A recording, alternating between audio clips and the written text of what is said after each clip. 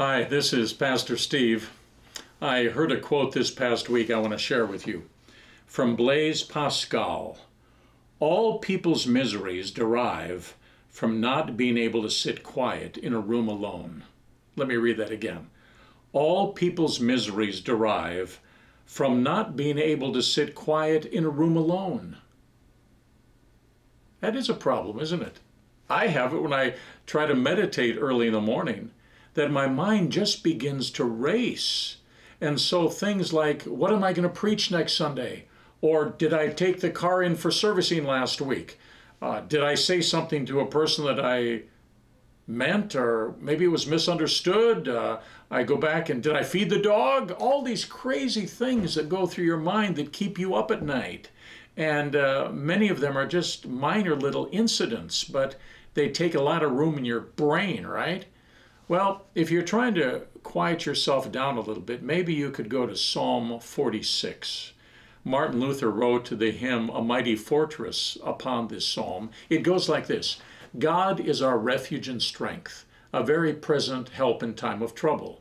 Therefore, we will not fear, though the earth should change, though the mountains shake in the heart of the sea, though the waters roar and foam, though the mountains tremble with its tumult.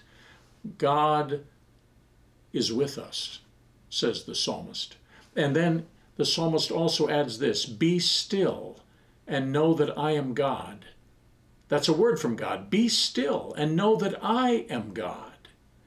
You might want to think about that. I had our parish nurse, Carol Hartman, take my blood pressure the other day, and it was higher than I thought. And I, I think you, if you're like me at all, have to find ways to calm down in these difficult times. So I would again commend to you Psalm 46 and the phrase, be still and know that I am God. That's the promise that God gives us, that I am God and I will be with you, right?